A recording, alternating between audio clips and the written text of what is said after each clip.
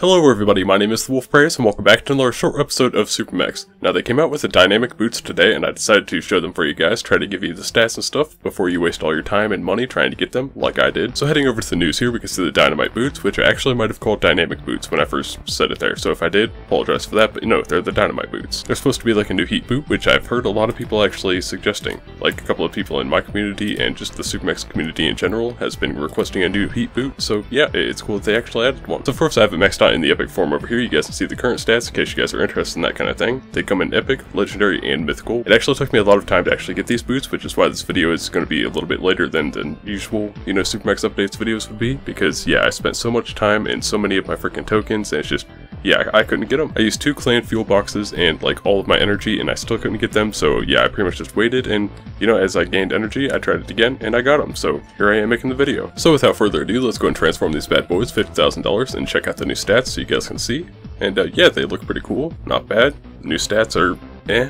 Kind of, they're, they're kind of okay. 202 hit points at level 1 legendary, that doesn't seem very high, but I suppose if you level it up to mythical, it could be around 500, I imagine, or a little bit less. You also have the explosive damage here, which is up to 112. Again, it, it, it's kind of comparable to all the other legs with their stomping ability, and the 15 heat damage, you know, it, it's heat damage, what can you say? They have a stomping range of 1, 2 knockback, which is actually pretty different, because most boots only have a knockback of 1, if anything, so yeah, the 2 knockback could be pretty useful, uh, 1 walking, and 2 jumping.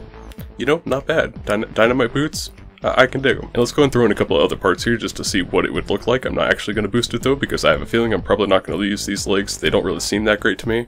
Uh, so yeah, you guys can see the current stats right there. Let's go and check out a couple of different pairs of legs that are also heat boots and we can check those out. Like I have the Devouring Pulse over here, which the hit points are actually a little bit less, I think. Uh, so checking out all the different stats there, 26 heat damage. The heat damage is less on the dynamite boots, but I think the hit points are higher. Yeah, I think the hit points would be higher by the time you get to level 14 of the devouring boots. Uh, the damage is a little bit, it's actually pretty comparable.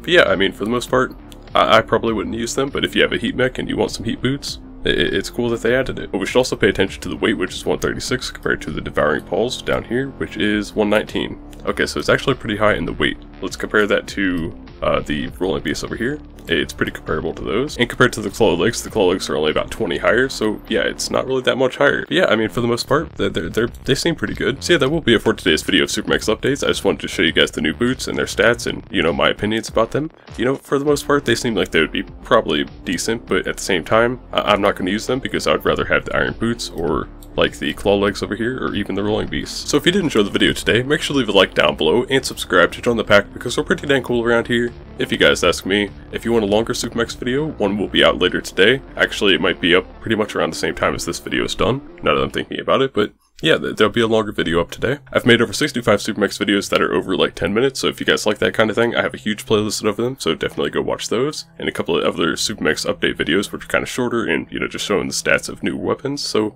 yeah, if you guys are interested in that kind of thing, definitely go check them out. And of course, there'll be a couple of my other videos from earlier in the week up here at the end screen, as well as in the card icon up in the top right. I make a new video every single day of all kinds of different games, and, you know, I, I have a lot of fun playing them, so maybe you'd have fun watching them.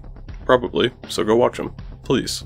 Thank you. And other than that, of course, thank you guys so much for watching and liking. I hope you have a great day, follow your dreams, and I will see you guys in the next one.